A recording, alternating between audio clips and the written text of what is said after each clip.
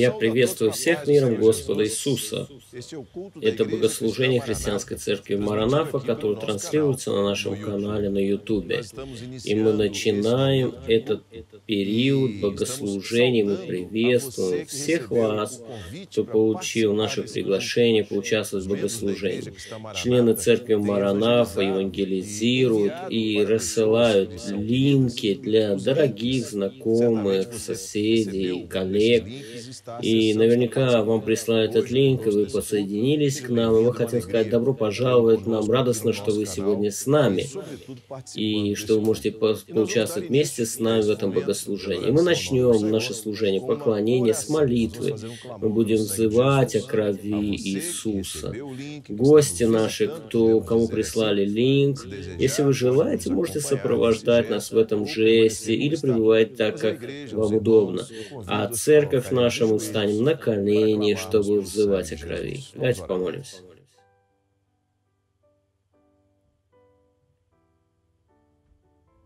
Господь, мы взываем о силе крови Иисуса Христа.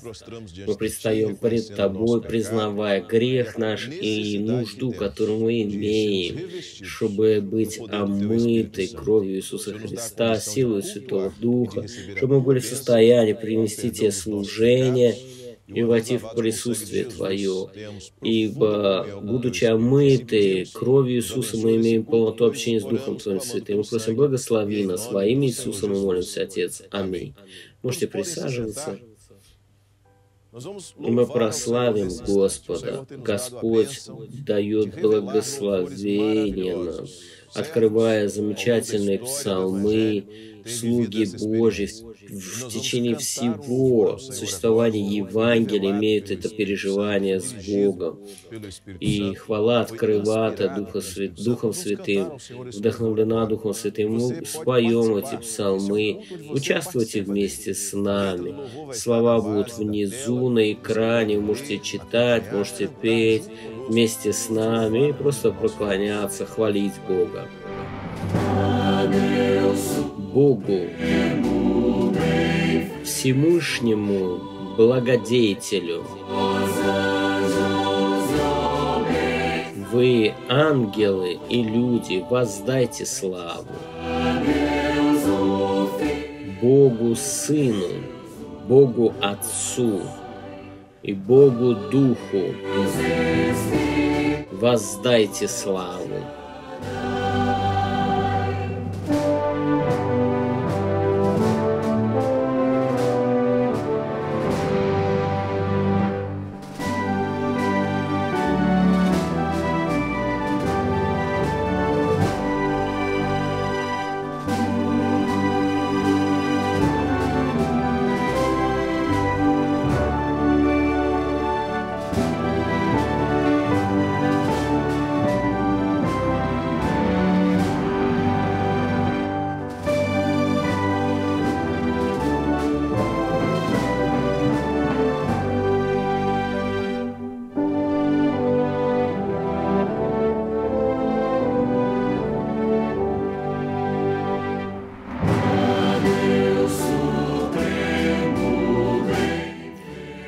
Богу Всемышнему, благодаятелю.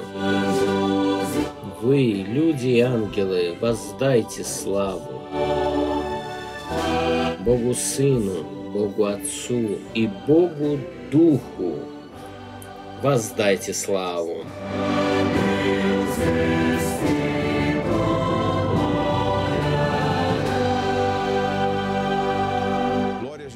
Слава Иисусу, да будет прославлено имя Господа Бога, который посещает нас, который позволяет нам входить в Его присутствие. Мы продолжим поклоняться Ему. Споем еще один гимн, и сразу после этого будет слово от пастора Жидалци.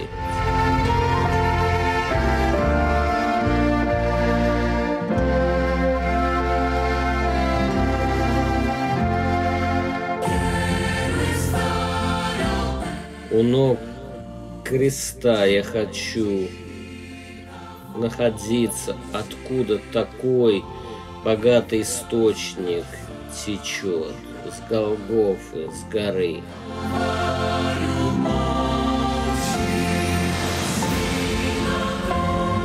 Да, крестом. Крестом я всегда хвалюсь. В конце я успокоюсь, спасенный там за рекою.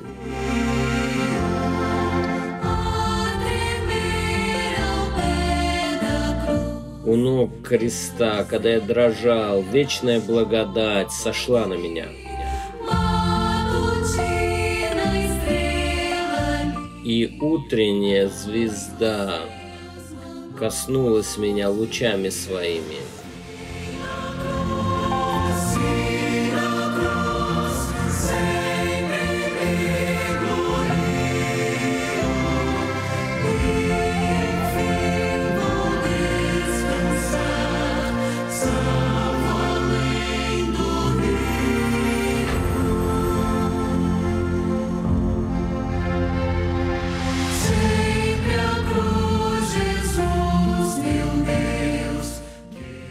Иисус, Бог мой, Ты хочешь, чтобы я всегда вспоминал о кресте и тень, в тени Его, о Спаситель, Ты хочешь укрывать меня.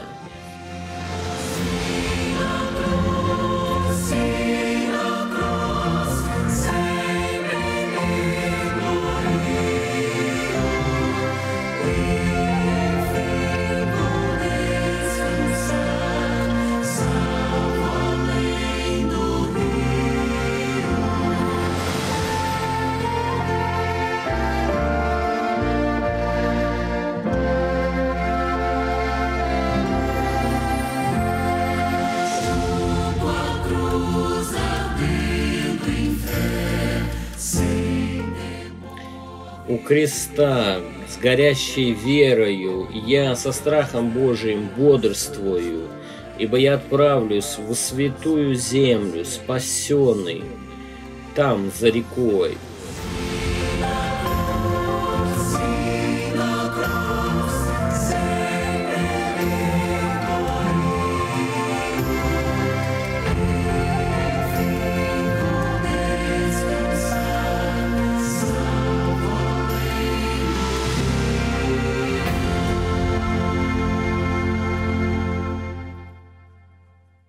Я приветствую наших братьев и сестер, всех тех, кто присоединились к нам на этом богослужении, поклонении, прославлении Господа, Бога нашего. Я всех приветствую миром Божьим. И мы хотели бы зачитать текст Священного Писания вместе со всеми, кто к нам подключился к Евангелию от Иоанна, 18 глава, 38 стих. Пилат сказал ему, что есть истина? И сказав это, опять вышел к иудеям и сказал им, «Я никакой вины не нахожу в нем». Что есть истина? Возлюбленный текст Священного Писания, он знаком многим, потому что он говорит о суд... осуждении Господа Иисуса, когда он предстоял перед э, судом империи Римской, перед этим прокуратором. Это был Понтий Пилат, он был прокуратором. В истории он был известен, потому что он позволил осуждение Господа Иисуса, его распятие.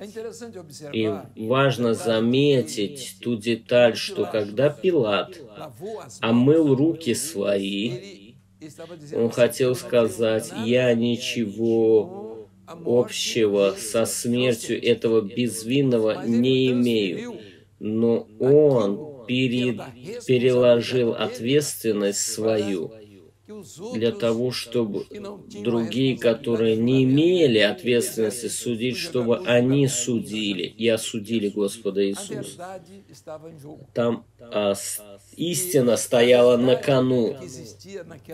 А, та истина, которая существовала в те времена, Это были обсуждения, споры, да, диспуты среди интеллектуального сообщества Римской империи. Римская империя, она царствовала практически над всем миром того времени, и та форма, которой эта империя э, ставила себя при теме, над, над кем они господствовали, это было очень э, так вот хитро. Они строили амфитеатры, театры, пока народы устраивали диспуты, обсуждали некоторые темы, вопросы, философские такие важные моменты. Ибо это был эллинистический период. Это было первые сто лет христианства, в этот период, в эти времена, эти диспуты, они были прикрашены, потому что те философы знаменитые, великие философы, греческий Сократ, Платон, Аристотель, но не только они. Было еще отражение этих великих мыслителей в случае с епикурейцами, которые стоики, которые они тоже были философскими течениями. Что они обсуждали там? Диспуты они устраивали о всяких мыслях философских. И одна из тем была, это была истина. И философия всегда переживала, заботилась об этой ситуации, об этом аспекте. Она всегда пыталась дотянуться до истины, да?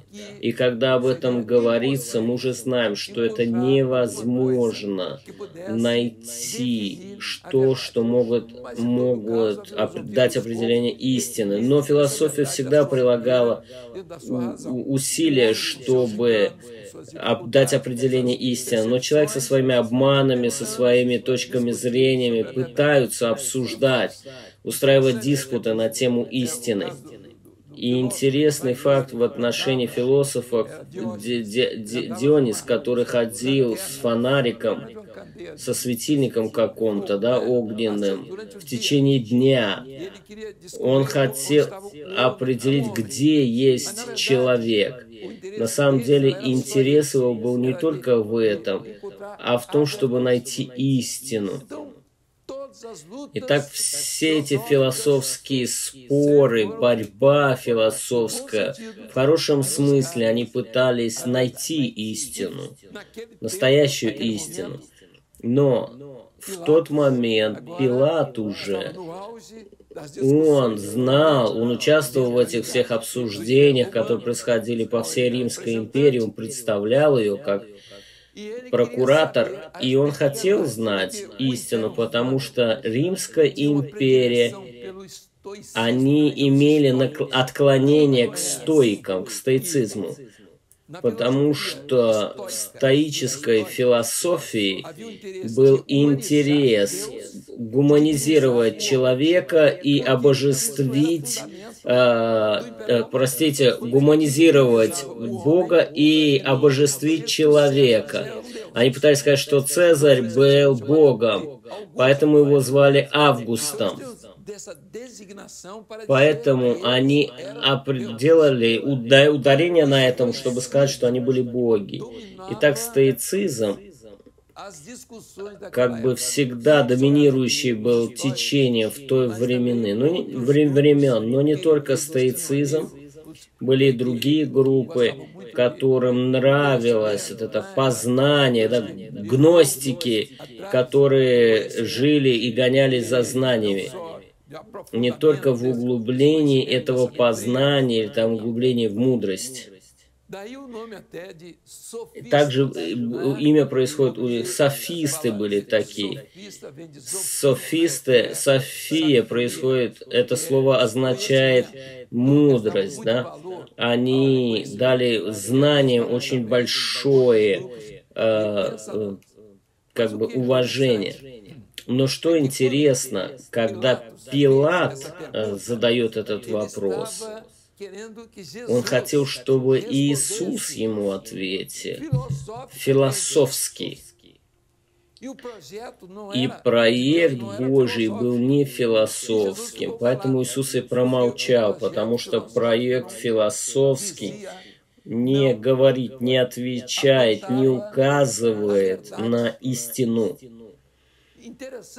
Интересно, что три языка, которые были доминирующими в то время, это был латинский, э, римлян, греческий, потому что греческий уже тоже до Римской империи уже до, до, владычествовал по всему миру. Это был греческий койне, который был э, народным языком, популярным языком. Это происходило от того, что очень много регионов были захвачены Александром Великим еще до Римской империи. Я не знаю, каким образом он смог за 12 лет захватить и там насадить греческий язык, где он не проходил. Итак, греческий тоже был знаменитый язык. Койне, греческий популярный язык народный. Так был, лат, была латынь, был греческий и иврит в Палестине, да? А, на каждого, для каждого языка было, был свой перевод слова «истина». Одно слово определяло слово «истину». На, к примеру, на иврите эмуна. Слово эмуна, она относится больше э, к доверию. Доверию. Это или основание, или надежда. Это как бы наивысшая форма понять истину. Итак, посмотрите, возлюбленные, истина, определенная в, э, в иврите, она была не для всех, чтобы, как, ну, как бы все мы не могли бы понять, да? В латыни у римлян, да, было слово «veritas». Слово «veritas» говорит об истине, которая дар, дана ограниченная. Истина, которая не, не объясняла ничего, она ограничена. И также была истина, как мы ему уже говорили, у греков, алитея. Это истина тоже ограничена, у которой был конец.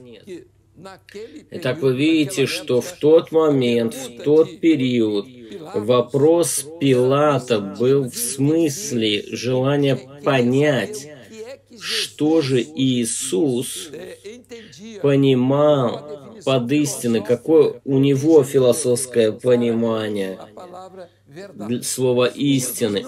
И у Иисуса не было возможности ответить, потому что истина Иисуса, она отличалась. И что важно здесь, мы можем увидеть здесь, что кроме всего этого, алите, греческое слово, да, у, у римлян был веритас, и у евреев на иврите эмуна. Все эти слова пытались определить слово «истина», и они не могли. И когда он обратился к Иисусу и спросил, чтобы Иисус сказал какую-то истину, если бы он сказал истину евреев, его бы он осудил, да? Если бы он сказал истину римлян, он тоже был бы осужден. Любую истину, которую бы не сказал Иисус, он был бы осужден. Итак, в этот период, особенно там, где стойки господствовали, и где все они знали,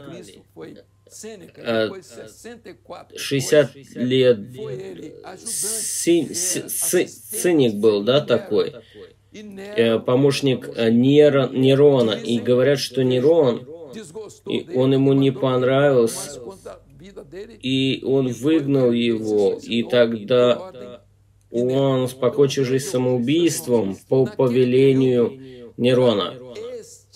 В то время это было такое мнение доминирующее. А, это стойки, да? Стойки считали, что истина, она э, на основании чувств человека. Не было что-то, которое приходило извне, не что-то духовное, а сама реакция человека, форма жизни, его чувства. Поэтому не было такого определения в отношении истины. И я хотел еще сказать нашу реальность здесь, то, что мы видим в отношении истины. Во-первых, мы живем в период скорби. Почему? Потому что больше не существует истины. Люди а, отвергаются, отходят от истины. У каждого своя истина. И каждый день истины процветают в тех группах, которые отделяются, которые разделяются, потому что у каждого своя истина, которая не имеет никакой э, цены, у которой есть время, когда она закончится, тоже ограниченная истина. Но еще одна такая интересная деталь, то, что видно сегодня в отношении истины, что она хромает на улицах, спотыкается на улицах. У людей нет больше никакого доверия тому, что люди говорят то, что они утверждают, на контракты, на бизнес, на законы, в любом случае. Это не только в Бразилии. Мы говорим о зле, который по всему миру сегодня существует. Почему? Потому что истина была распята для многих, как для Пилата, для Римской империи, но для нас истина воскресла это сам Господь Иисус. И объяснение, которое существует в этом, это очень важно, потому что истина – это что-то превосходное из вечности, относится к душе человеческой, и человек не знает, что он несет это огромное благословение внутри себя, самое большое сокровище. Это вечная душа, она в нем. И он позволяет отпускать все это на самотек. Поэтому многие заболевают, потому что живут обманом. И душа человеческая, она не была дана, чтобы жить э, во лжи, в нечестии.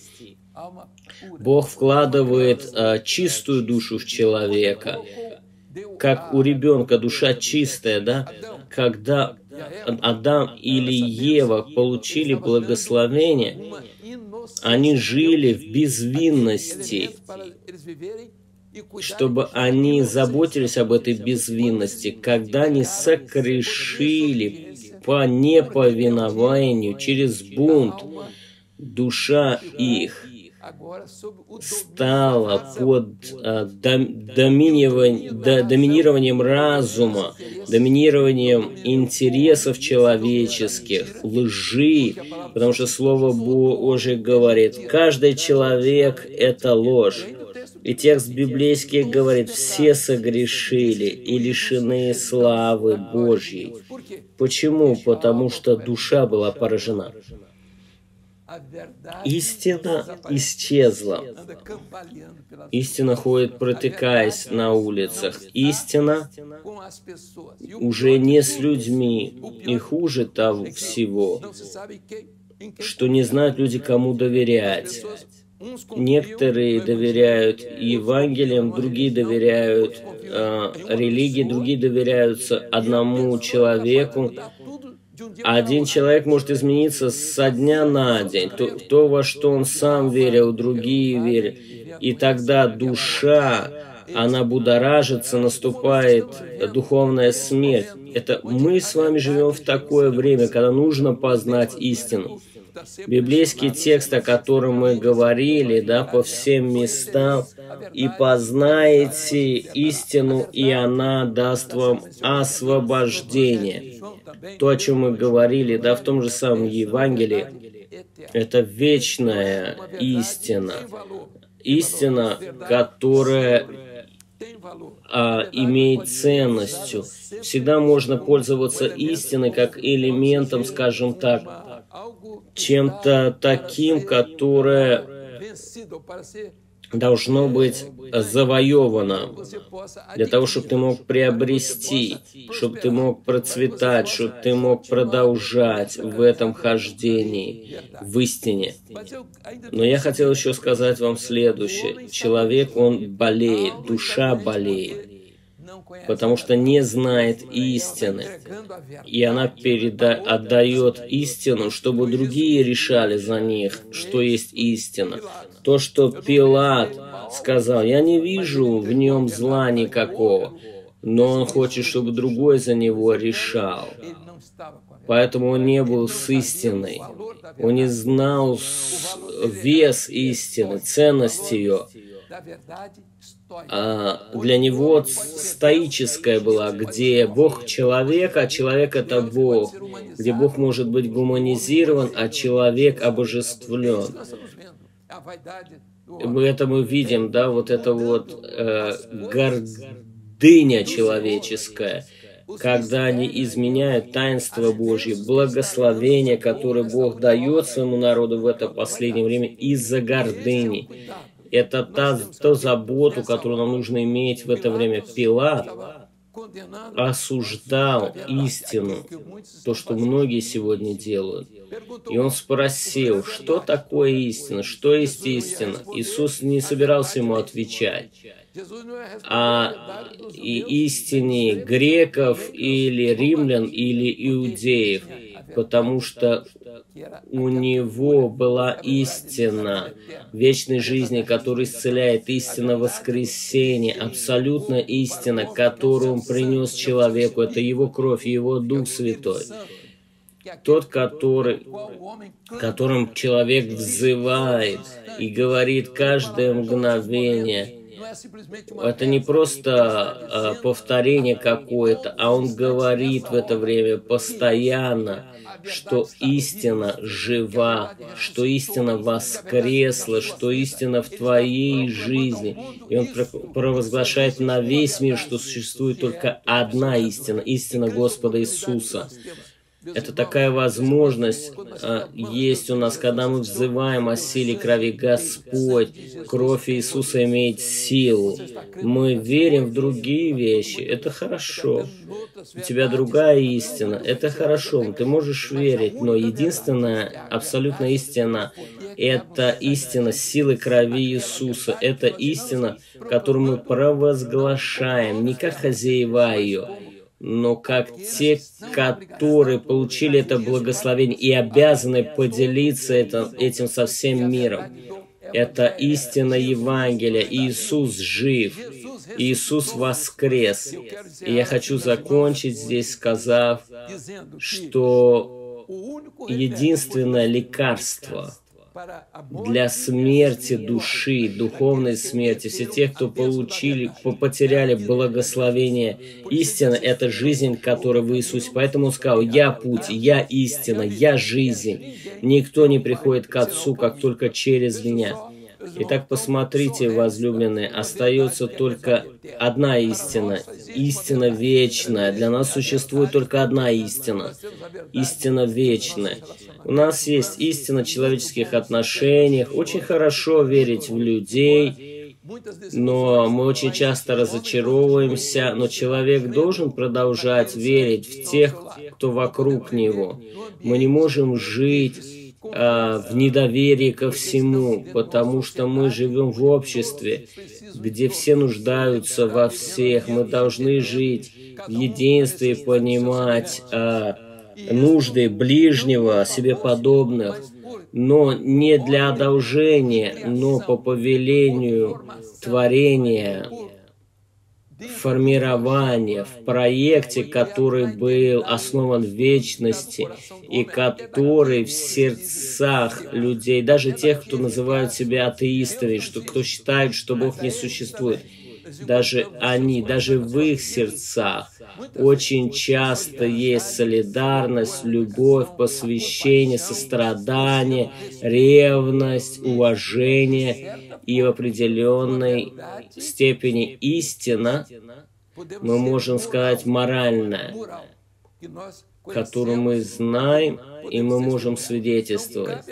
Не нам судить, истину, которая не является истиной Иисуса, потому что это истина. Иисуса, единственная, которую мы провозглашаем. Когда Пилат спросил, что есть истина? Иисус не ответил, но мы отвечаем.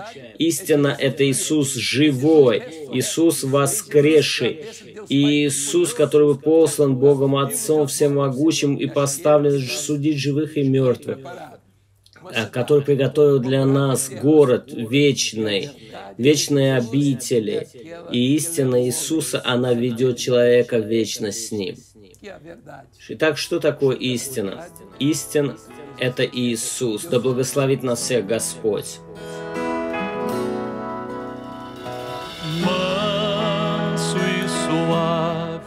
Мягко, нежно, Иисус зовет. Он зовет тебя и меня.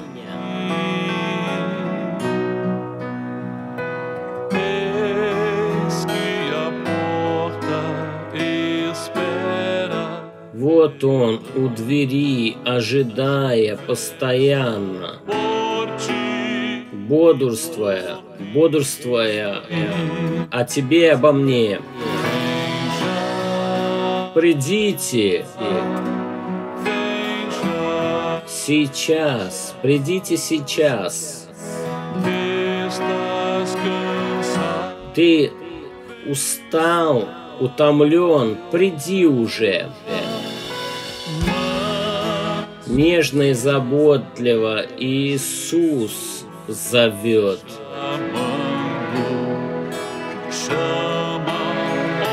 Он зовет, «О грешник, приди!»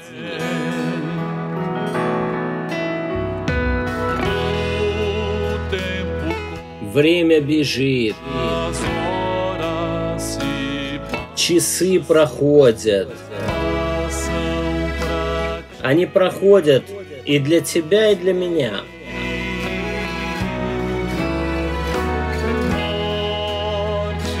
Смерть, и боль зовут. Зовут и тебя, и меня.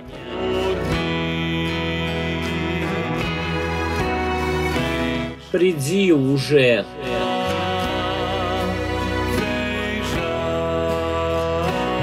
Приди уже. Ты утомлен, то приди уже.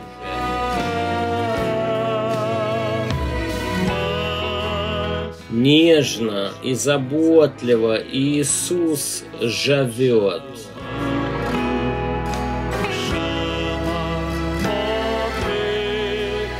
Зовет, о грешник, приди.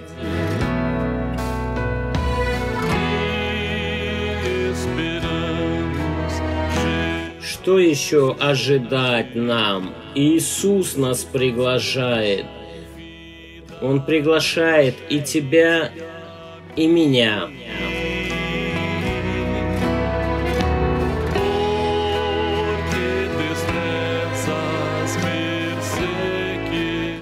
Не пренебрегай этой милостью, которую Он дает, проявляет к тебе и ко мне.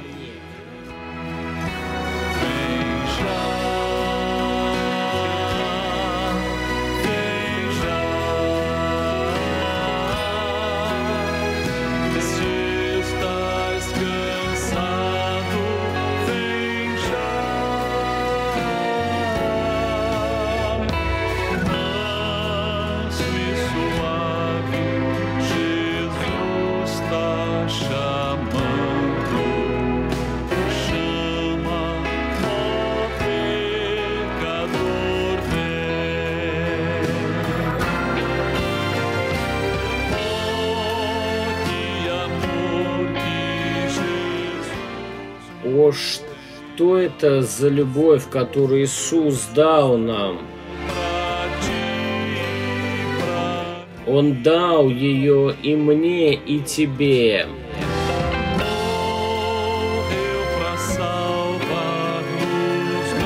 Он умер, чтобы спасти нас от греха, спасти тебя и меня.